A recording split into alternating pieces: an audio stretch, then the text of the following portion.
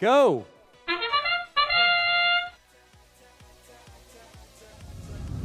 All right. Everybody moving here, quarterfinal one. We are underway.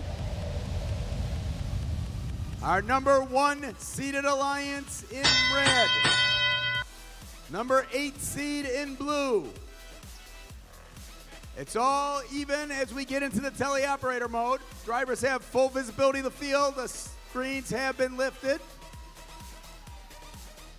Our number one seed working on the rear rocket ship.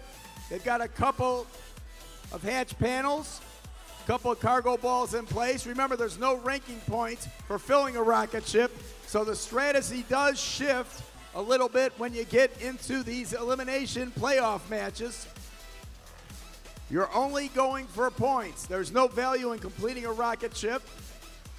There's no ranking points for getting above 15 on the climb at the end either. So it's all about the points in this best of three playoff matches. But as you can see, OP Robotics 2056 filling up that rear rocket ship anyway. They're just going to town trying to put as many hatch panels and cargo balls as play as possible in place. But it's a close one. We're all tied up with about a minute to go in this match. 24-68 being defended against. That's Team Appreciate by 195, the Cyber Knights. And they are definitely slowing them down. But so far, it's still a pretty close match. Only a couple points separating each of these alliances in the score.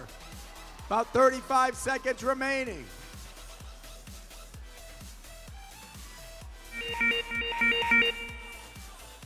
We come to the last half minute of play here in quarterfinal number one. And it is going to go down to the wire. Two blue robots lined up already over by their habitat.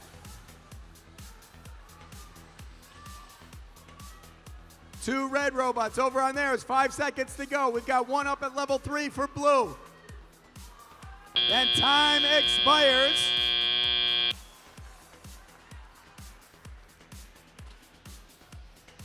The unofficial score showing advantage for red, but remember that is unofficial. Referees are going to have to go through and give us the official score, so they need to tabulate all the final points in this match.